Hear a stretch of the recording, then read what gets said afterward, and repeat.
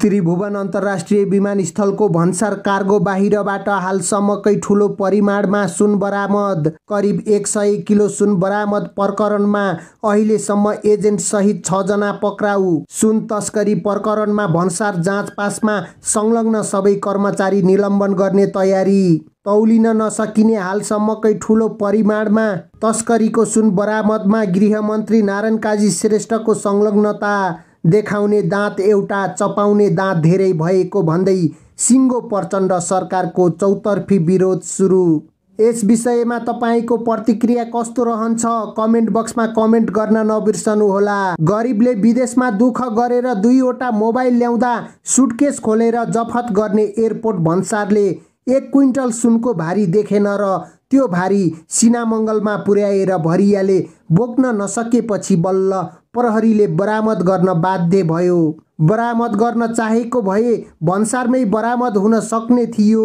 VIP नेताहरूको भन्सारसँगको मिले मतोमा खतरनाक सेटिङले यस्ता अवैध सुन दैनिक जसो नेपाल भित्रिने गरेको पाइएको छ। सबका सब देश दोहनकारी तस्करहरूलाई अनुसन्धान गरी कानुनी डन्डा चलाइनु पर्नेमा हाम्रो देशमा त्यस्ता तस्करहरूलाई उल्टै फुलमाला र खादाले सम्मान गरिन्छ। बुधबार साँझ प्रहरीले झन्डै एक क्विन्टल सुन बरामद गरेपछि राजस्व अनुसन्धान विभागले एक सय किलो सुन बरामद प्रकरणमा हालसम्म छजनालाई पक्राउ गरेको छ।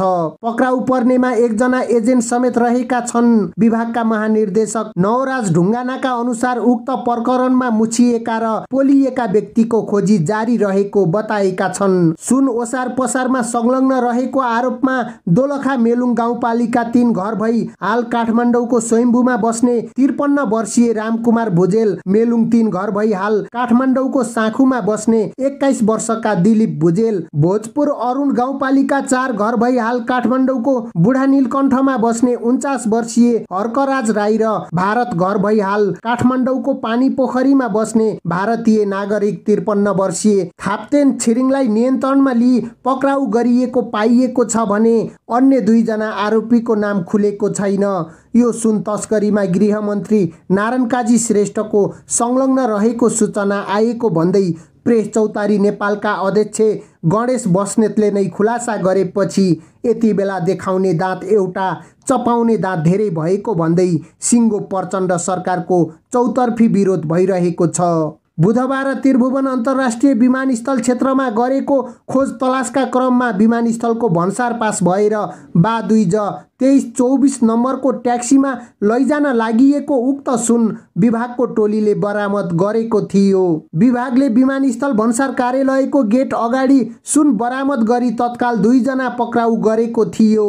त्यसपछि आज यो समाचार तयार पार्दासम्म थप चारजना पक्राउ गरिएको ढुङ्गानाले बताएका छन्। सुन हङकङबाट ल्याइएको खुलेको उनले बताए नेपालमा एकैपटक यति धेरै सुन बरामद भएको यो पहिलो घटना हो। तथ्य खुल्न बाँकी छ र फरार व्यक्तिको खोजी भइरहेको छ।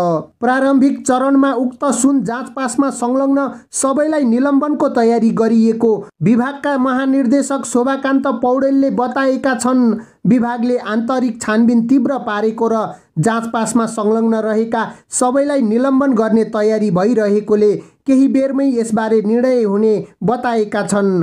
विभागले भन्सारबाट सुन पास भएको विषय सङ्गठित रूपमा भएको हो वा प्राविधिक कमजोरीमा तस्करले फाइदा उठाएको हो भन्ने बारे पनि विभागले गहिरो अनुसन्धान अघि बढाएको महानिर्देशक पौडेलले बताएका छन्। त्रिभुवन अन्तर्राष्ट्रिय विमानस्थल स्रोतका अनुसार बरामद सुन मङ्गलबारको क्याथे फ्यासिफिकको उडान मार्फत काठमाडौँ आएको थियो।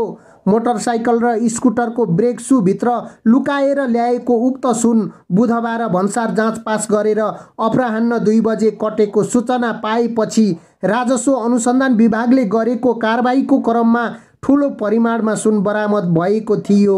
उक्त बरामद सुन तस्करहरूले मोटरका पार्ट्सभित्र राखेर ल्याइएको देखिन्छ। मङ्गलबार आएको सामान भन्सार कार्यालयबाट जाँच पास भएपछि बाहिरिएको थियो। त्यस लगत्तै राजस्वको टोलीले सामान सहित मानिसलाई नियन्त्रणमा लिएर पार्ट्सभित्र हेर्दा सुन भेटिएको थियो। भन्सार कार्यालयको एक्सरे मेसिनले ठुला फलामका सामानलाई मेसिनमा राखेर हेर्न मिल्दैन। त्यसैले भौतिक रूपमा नै जाँच जाँच गरेर जाँचपास गरिएको हुन्छ। त्यसको फाइदा उठाउँदै सुन तस्करी भएको देखिएको स्रोतले बताएको छ।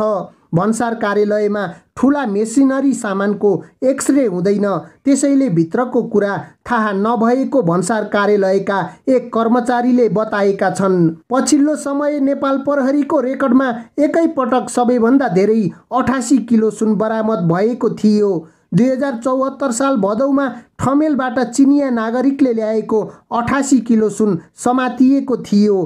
त्यसपछि त्रिभुवन अन्तर्राष्ट्रिय विमानस्थलको भन्सार कार्गो बाहिरबाट हालसम्मकै ठुलो परिमाणमा सुन बरामद भएको यो पहिलो घटना हो। विभागले विमानस्थल भन्सार कार्यालयको गेट अगाडि सुन बरामद गरी तत्काल दुईजना पक्राउ गरेको थियो।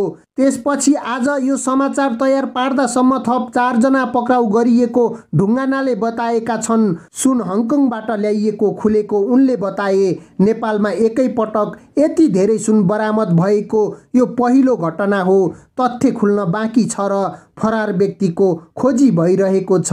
प्रारम्भिक चरणमा उक्त सुन जाँचपासमा संलग्न सबैलाई निलम्बनको तयारी गरिएको विभागका महानिर्देशक शोभाकान्त पौडेलले बताएका छन् विभागले आन्तरिक छानबिन तीव्र पारेको र जाँचपासमा संलग्न रहेका सबैलाई निलम्बन गर्ने तयारी भइरहेकोले केही बेरमै यसबारे निर्णय हुने बताएका छन्। विभागले भन्सारबाट सुन पास भएको विषय सङ्गठित रूपमा भएको हो वा प्राविधिक कमजोरीमा तस्करले फाइदा उठाएको हो भन्ने बारे पनि विभागले गहिरो अनुसन्धान अघि बढाएको महानिर्देशक पौडेलले बताएका छन्। त्रिभुवन अन्तर्राष्ट्रिय विमानस्थल स्रोतका अनुसार बरामद सुन मङ्गलबारको क्याथे फ्यासिफिकको उडान मार्फत काठमाडौँ आएको थियो। मोटरसाइकल र स्कुटरको ब्रेक सुभित्र लुकाएर ल्याएको उक्त सुन बुधबार भन्सार जाँच पास गरेर अपराह्न दुई बजे कटेको सूचना पाएपछि राजस्व अनुसन्धान विभागले गरेको कारबाहीको क्रममा ठुलो परिमाणमा सुन बरामद भएको थियो। उक्त बरामद सुन तस्करहरूले मोटरका पार्ट्सभित्र राखेर ल्याइएको देखिन्छ। मङ्गलबार आएको सामान भन्सार कार्यालयबाट जाँचपास भएपछि बाहिरिएको थियो। त्यस लगत्तै राजस्वको टोलीले सामानसहित मानिसलाई नियन्त्रणमा लिएर पार्ट्सभित्र हेर्दा सुन भेटिएको थियो। भन्सार कार्यालयको एक्सरे मेसिनले ठुला फलामका सामानलाई मेसिनमा राखेर हेर्न मिल्दैन। त्यसैले भौतिक रूपमा नै जाँच गरेर जाँचपास गरिएको हुन्छ। त्यसको फाइदा उठाउँदै सुन तस्करी भएको देखिएको स्रोतले बताएको छ। भन्सार कार्यालयमा ठुला मेसिनरी सामानको एक्सरे हुँदैन। त्यसैले भित्रको कुरा थाहा नभएको भन्सार कार्यालयका एक कर्मचारीले बताएका छन्। पछिल्लो समय नेपाल प्रहरीको रेकर्डमा एकैपटक सबैभन्दा धेरै अठासी किलो सुन बरामद भएको थियो। दुई हजार चौहत्तर साल भदौमा ठमेलबाट चिनिया नागरिकले ल्याएको अठासी किलो सुन समातिएको थियो। त्यसपछि त्रिभुवन अन्तर्राष्ट्रिय विमानस्थलको भन्सार कार्गो बाहिरबाट हालसम्मकै ठुलो परिमाणमा सुन बरामद भएको यो पहिलो घटना हो।